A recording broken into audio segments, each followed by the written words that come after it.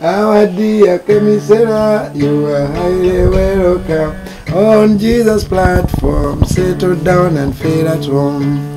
Ekisooka um, okulokoka congrats nze nsanyukira buli serebu alokoka secondly n'okusaba ba uh, nti onyweze yesu n'obutanyegera nnyo mu- mukwano gwange ani aluna kubanga bwaba mubanja emyezi esatu eh, gyogambye ate ng'abadde naye emyaka mingi. Pointi yange kitege- kitegeeza nti kyebamubanja kitono nnyo abantu bonna baba banja emyezi. Fenna bangi batubanja rent.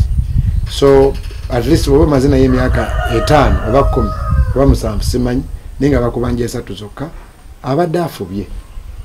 Abadde afubye esatu mitono nnyo.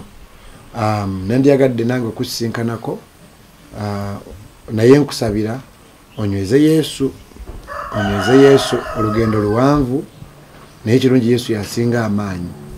Webale nnyo okwagala kulokoka n'otagenda mu ssabo nkusaba obe mukakkamu because we all know that aruna is a good boy is my good friend era ndowooza nti abantu bonna bafuna obutakkaanya.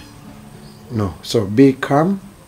Ekirungi walokose yesu agenda kukulwanira entala kukole bulungi. Fena yatuyambye okay eh, ebyo byonna nze ndowooza okusonyiwa. Kati kewalokose kulokoka kugirako okukolaki okusonyiwa. Oba bituufu oba si bituufu bwolokoka osonyiwa. Katonda ajja kukuzzaawo ajja kukusanyusa. Eh, kozi oli ndowooza emyaka aluna gyamaze. Abadde tabeeranga nnyo mu muki mu buvuyo bungi. So bw'abanga yakulimba natakusuubiza natatu- natatuukiriza mm, be baana b'abantu bantu tebatuukiridde.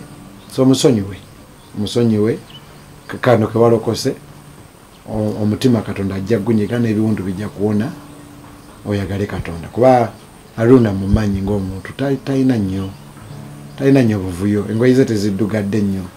So bwe kibanga kituufu musaasire. Then nga bwe walokose omusonyiwe katonda ajja kukuyamba amiina nange wakiri nja kusasulayo omwezi. Si mwezi? Eh, buli omu asasuleyo omwezi. Nze nja kuwaayo omwezi. Kale mukama akuwa omukisa. Ndowooza munaamundeetera mwekenyini oba munaaziba wano muzimuwa